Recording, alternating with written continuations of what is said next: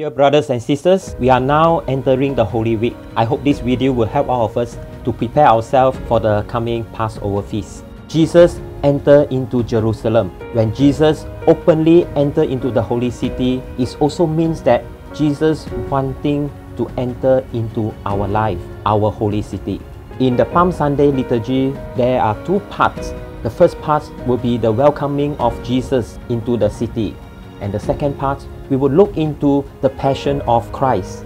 The church wants us to see how contradictory we are. The same people who welcome Jesus are the same people who crucify him because they realized Jesus was not what they expected.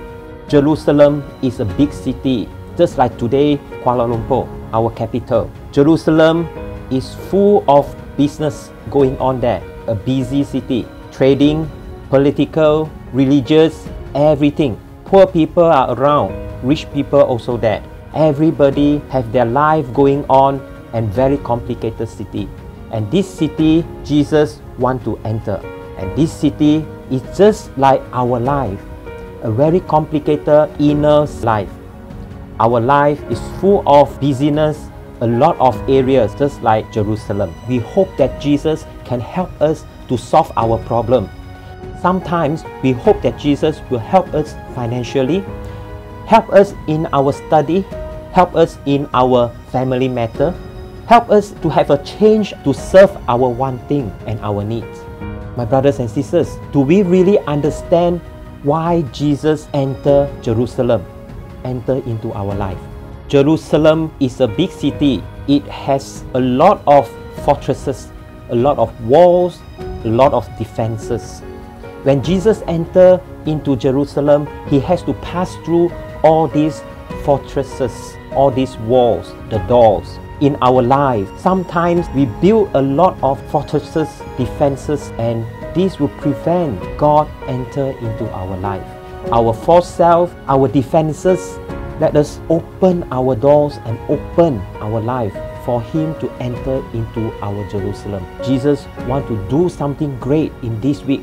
Let him be the Lord of our life.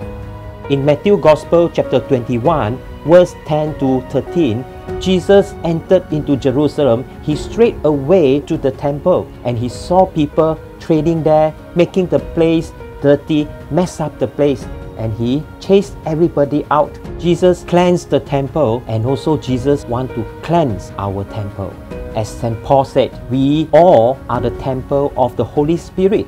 We are the temple of the Lord, and Jesus entered into Jerusalem. He wants to enter into our temple and clean our temple our sins, our pride, greedy, all kind of things.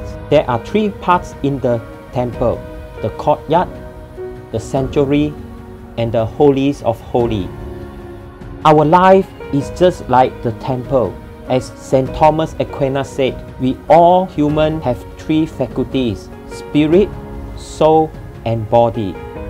The body is just like the courtyard in the temple. The soul is the sanctuary, and the spirit, which is the holies of holy. The high priest once a year only enter into the holies of holies.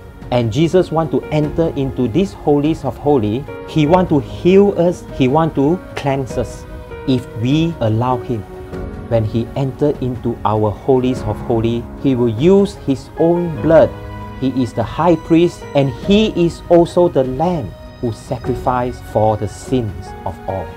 Brothers and sisters, in this Passover feast, Jesus, in his passion, the sacrificial lamb, will shed his blood into our Ark of the Covenant. The covenant is no longer written on the stone, but in our heart. So, brothers and sisters, let us truly prepare ourselves by opening ourselves totally for the Lord to come into our life, our temple, and into our whole being. May God bless you all. Have a blessed Holy Week and Paschal Feast. Amen.